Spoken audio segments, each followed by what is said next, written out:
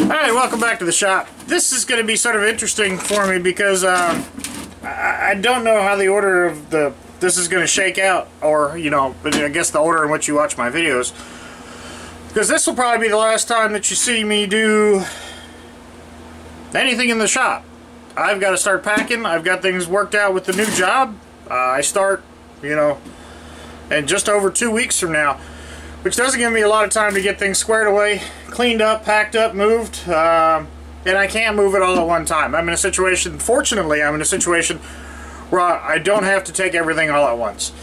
Uh, I can take just the essentials, and that's about it for now until I get my new shop situated, whatever that ends up being. Um, some different backstory on that, but nothing that's really of any real consequence. But here's my strategy. I think I'm going to be relegated to taking one toolbox with me. And I'll insert a picture of the toolbox that I'm going to take with me.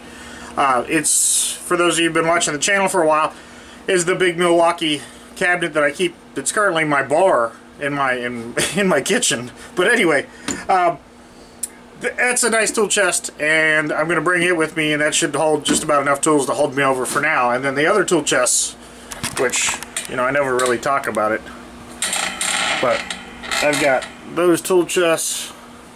Those are three high. And then, you know, I've also got another set over there that's stacked three high. And uh, if you can see, yeah. So anyway, this the whole the whole rear section behind me, floor to ceiling, pretty much is all tool chests. Um, anyway, so I've got to condense from six tool chests down to one tool chest, and that makes me a little uncomfortable. So I think if I clean up maybe a couple small tool chests, tool boxes, I can get more tools in there and Catherine won't yell at me. And I'll be able to bring more tools with me. So anyway, what I want to do is I'm going to clean this one up. This is an S&K box. Uh, S&K, um, you know, a lot of people are, are, are fans of their sockets and things like that. And, um, you know, I'm really indifferent. I'm not really brand loyal to anything. But, uh, there is some notoriety with the name. You can see the S&K there. So, so I want to try to preserve this sticker uh, as best I can. It's slightly embossed. Um, and usually these things come in at a, pretty high price. And uh, I'm pretty comfortable with what I paid for this one. So Anyway, let me go over and dust this thing off in the Media Blaster and see if we can uh, give it a coat of paint and I'll be able to sneak more tools out of here with in this.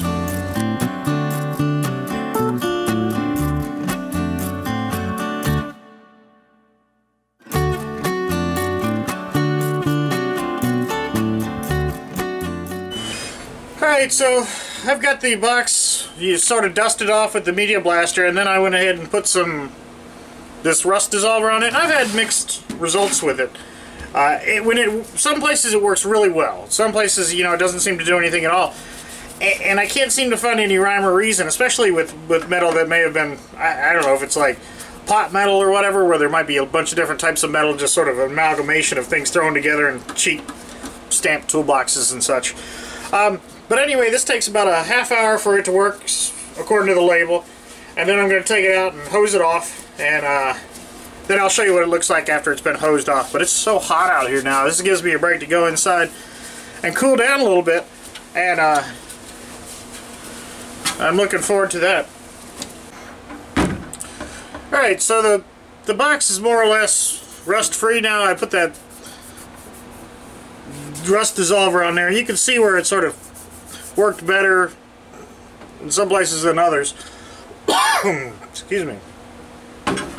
And then I just dried it off with the torch. I blew it off and then hit it with the torch. Now, because it's going to flash rust so quick in, in, in, my shop. Anyway, let me go ahead and tape this off and then I'm going to paint it. And I'll bring you back after I've got it painted.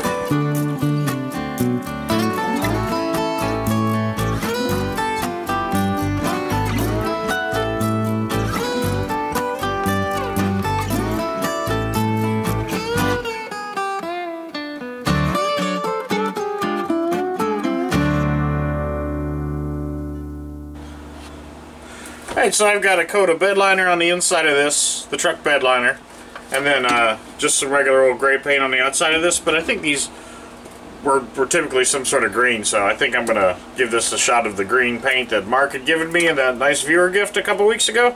So, let me give that another coat and I'll bring you back. Alright, so I've got this thing, uh, I painted it with the gray and then I used that green paint that Mark had sent me, and I think that really looks good. It's not an exact replica of the S&K green, however, it's good enough for the girls I go out with. Um, as AVE says. Um, anyway, I think it might look a little bit better if I were to try to maybe change the color on these. And it's a nice day out here in the shop. It's It's been raining all day long, so it's nice and cool. I think I'm going to maybe get some time lapse and I'll see if I can't touch these up and paint them a different color. I don't know what color yet. And then of course I've got to figure out how to touch up the the name here. Um, and also some of you may have watched the this is the wax handle. This has been pretty good. You know, there's a a little bit. I should have. I think the the trick is you're supposed to clear coat this stuff at the end, and I haven't done that yet. Uh, I'm pushing as hard as I can, and it just barely comes off. Anyway, it's pretty interesting uh, stuff. That's the the, the wax. Um, anyway, it's pretty neat stuff. So, anyway, let me let me get to tinkering around with this, and uh, and I'll bring you back when I'm done painting.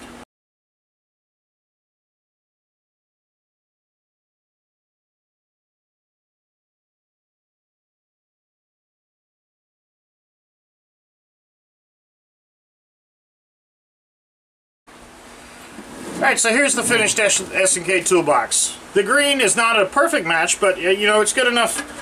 Uh, I, am happy with it. I think that's all that counts because it's my toolbox. Uh, I went ahead and touched the hardware up with the paint, the sharp paint marker. Super happy with those. The the inside has got a coat of the AutoZone, Advanced Auto, whatever your local auto parts store is called. Uh, they usually carry, even Walmart, uh, the truck bed liner, the, and I believe this is the Rust-Oleum brand. Project Farm does a review on truck bed liners. Um, that's that's an interesting episode. If you if you have never seen Project Farm, go check him out. But anyway, I uh, I just grabbed some truck bed liner from the local auto parts store and sprayed the inside of here. And then of course this had a liner that was cut perfectly, so I just reinstalled it. Um, so anyway, this toolbox looks pretty good. I think it's gonna you know serve me well. And the it didn't all work out as planned. The S and K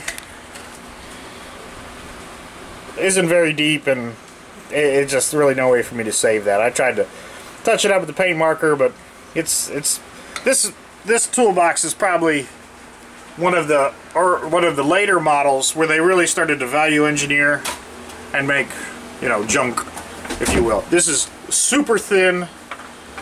The the build quality, I mean, it's just a flimsy, flimsy toolbox but it's it's still better than the plastic junkers they have out there now. So I so I can't be hypercritical of it. Uh, I think it'll serve me well, but again, it's not, you know, super rigid or anything like that. So anyway, that's the end of this toolbox. Uh, I hope you enjoyed the little bit of content that was here. There wasn't wasn't a lot to it, but anyway, I wanted to get something up on the channel before I start tearing this place apart. So, anyway, with that being said, I am going to stop talking about the toolbox and talk about the channel. So you guys can stop watching now if you're not interested in what's happening with the channel. Uh, if you are, I'm just going to, you know, talk for a couple minutes about what I think is happening. Alright, so I've got to start moving very quickly. Uh, I've got a lot of boxes set aside. I've got to start packing the shop up. Like I said, I'm not going to take all the tools. Would be the media blaster, the air compressor, uh, you know, the shear, the parts washer, the welders, the torches, the cabinets. Um, when I showed you the toolboxes earlier, I failed to mention that I have another tool bench on the other side of the shop with two more toolboxes, uh, another floor-to-ceiling cabinet full of motors and everything under the sun, uh, another six-foot cabinet on the other side full of welding supplies, refrigerators, belt sanders, grinders, uh, buffers, lathes, shape or uh, surface grinders. I've got a lot of stuff. Anyway, I am not taking it all with me immediately. I'm going to take some of it with me. But as I sort of sort through these things, I'm going to come across duplicates, triplicates, you know, some I have a lot of tools. And I don't need all these tools. And what I what I want to do, and, and I think this is a good idea, but but what I'd like to do is sort of give you the opportunity to to let me know if you're interested in you know having if you want me to just send you a tool and a Joe's Shop sticker. I'm going to put an image up now of of the digital version of a drawing that my mother had done that Ben Mall had digitized and he'd done a wonderful job and I again Ben I cannot thank you enough for doing that. It really means a lot to me. So I went ahead and had just 50 stickers made up. So if I get more than 50 responses we're gonna have to wait but uh, but anyway for you know for our core group of guys you know for the 357 the Scout Crafter the Ben the Wireworks you know the the the, the Super Wrench Garage you know all these people uh, and, and, you know the commenters, you know Bill and Lee and Russ and, and and you know all these all these other people that are constantly part of the channel, even if you don't have you know a YouTube channel or whatever. I'm going to put my email address up here. Send me an email with your address, and I'll be happy to send you a sticker. And you know if you'd like a tool of some sort, I will send you some. Um, and you know maybe if you tell me what you're interested in I could maybe search for stuff. Uh, if, if, there's certain thing, if you're a screwdriver guy or, you know, a, a hammer guy or a girl or whatever, um, you know, I have all sorts of stuff. I've got some novel tools. I got these cant slips that I've been looking at forever that I can't get to grip, actually. So this is sort of ironic. So I've got tools that need repair that are sort of beyond me. Um, and I have stuff that, you know, is perfectly functional with bits that you know is, is fine. It just needs a little cleanup. So so for any skill level you know these old tools I've, I don't have any application. You know how many of these push drills do does a man need? I've got you know probably a dozen of these things. Um, and you know I don't know if I don't know if you can have too many uh, fencing tools but you know um, I, I, got a couple neat novel tools here I've got some some uh, never slips another set of uh, those are can't slips, and these are never slips. These have the replaceable jaws. Scoutcrafter done a, an episode, or maybe even two on these, and uh, he's that's how I got turned on to these. But anyway, this is sort of a never a restoration that you know I never really got around to. I think that the the channel sort of got saturated with all these lime and plier things, and they're always interesting to watch somebody else do it. But but anyway, I have three or four good sets of these things, and you know, if somebody's interested, I'll send them a, a, set of old pliers if they want to restore it. And and you know, for me, I would I would ask only that you know if you're gonna restore it or if you want a set of pliers, you know, either send me a picture of it when you're done, so that I can use it for the channel, or you know, if you're gonna use it on your channel and restore it, that would be cool. Even if it's just a picture. I don't mean I'm not expecting a whole episode or anything on some stupid tool. I don't want to. I really don't care. I don't want anything back. I just I just want to make sure that you know that that these that I'm just not sending tools to strangers or anything like that for no reason. Um, anyway, but but more importantly, I. Uh, I'm excited to get the stickers in. I'm excited to have a little bit of propaganda to distribute to everybody for the shop. And and again, I think Ben did an outstanding job on that. And uh, you know, I'd like to send you guys some some stickers out there. So uh, I'm gonna quit running on, and uh, that's gonna be the last, probably the unless something, maybe some little content, but the last conventional episode that you'll see on this sort of first saga of Joe's Shop. So thank you for watching, thank you for subscribing, and uh, I look forward to seeing your emails. Thanks, have a good day.